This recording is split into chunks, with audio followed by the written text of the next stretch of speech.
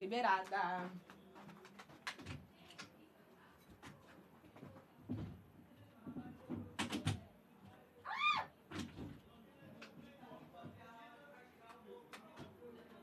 Como é que faz pra sair?